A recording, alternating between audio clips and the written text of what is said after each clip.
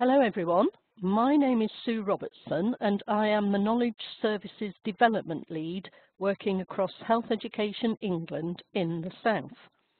I'm also part of the HEE team that has been working on our new NHS LKS Quality and Improvement Outcomes Framework.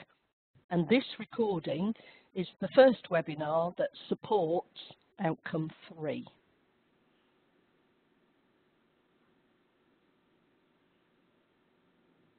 I have the pleasure of being in Taunton today with Natalie Parsley. I am with Natalie to interview her and ask her to share a practical example of a service improvement in her role here in Taunton. But before we hear more about this quality improvement, I will ask Natalie to say a little bit about herself. Natalie, please tell us what do you do and where do you work? Um, hello, Sue. Hi, everyone. Um, I am a library assistant at the library service at Musgrove Park Hospital.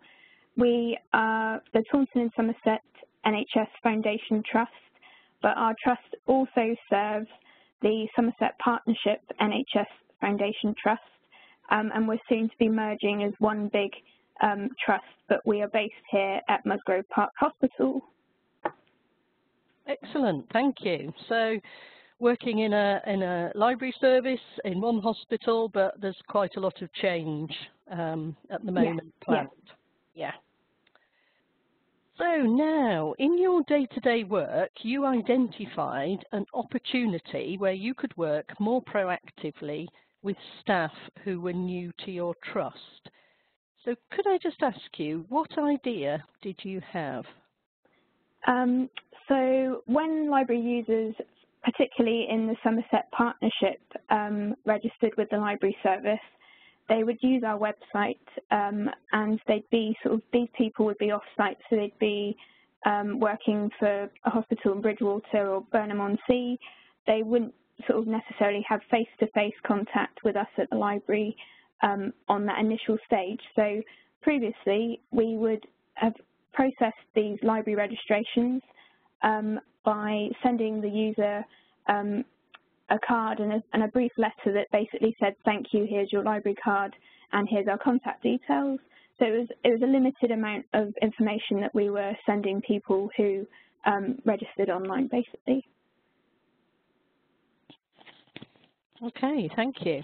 So, um, and before we understand a little more about what you did, please can you tell us um, about the template that you use to share your, to plan your ideas and I'll just show a copy of that template now. Yep, this is, so this was developed sort of by the quality improvement team um, at the hospital. We have a quality improvement librarian working um, within the library service um, in our team here at Musgrove. And she's sort of developed this um, basically template which is based on Plan, Do, Study, Act.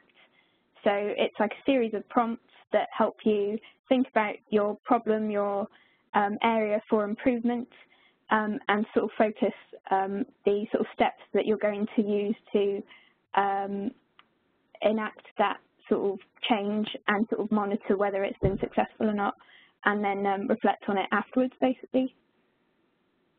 Excellent. So um, this is a great resource that we can all use, this template created here in Taunton. But going back to the induction, what did you do? We ended up devising a sort of template email, so a signature that we could send to users who registered off-site um, that gave them more information on so um, how to request books, registering for Open Athens, Knowledge Share, all of the different library resources that we have.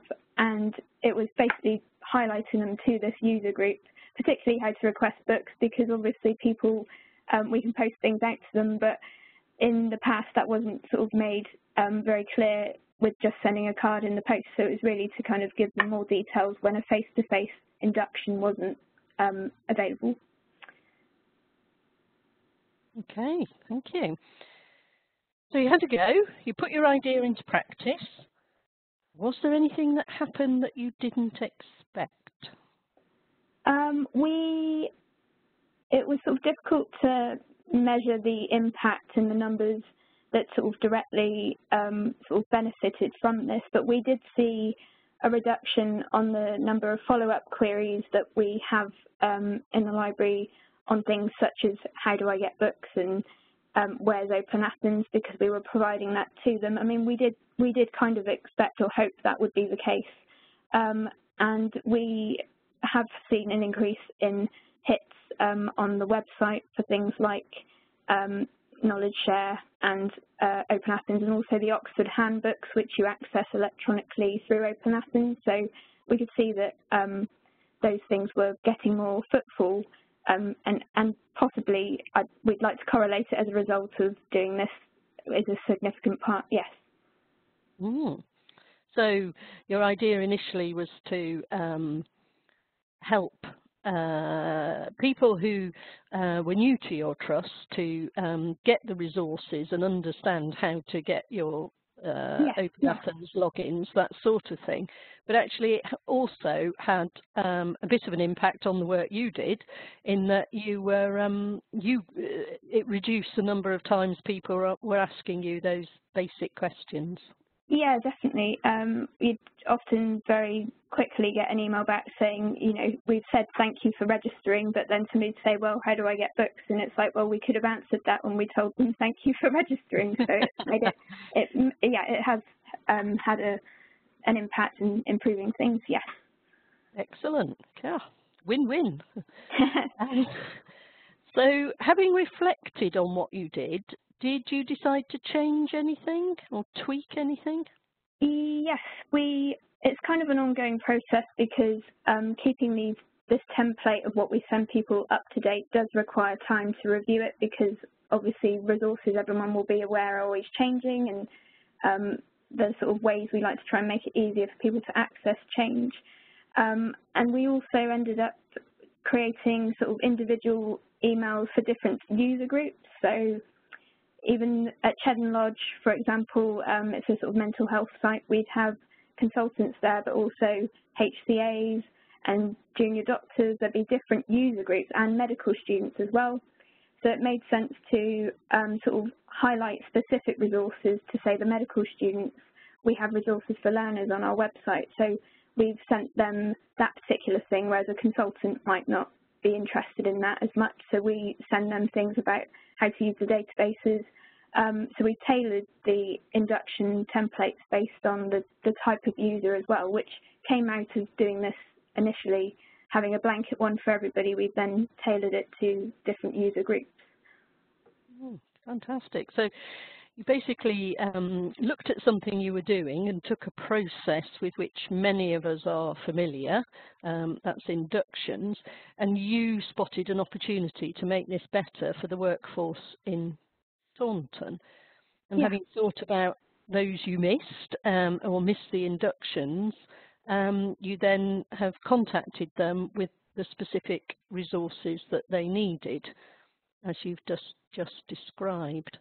Um, so, and it enabled new stuff in the trust to access the resources they needed, plus saved you and your colleagues some time. Yeah, absolutely. Yeah, and it's it's really good to hear how that's developing and you're starting to think more broadly um, about this across the system and build on your initial idea. So thank you, Natalie, for sharing this idea with us all. No, thank you. Um, and this concludes our first webinar that looks at practical ways all library and knowledge specialists can support Outcome 3. Um, I've put up on the screen um, both my name and uh, Natalie's name, and do get in touch with us if you'd like to know more. Thank you.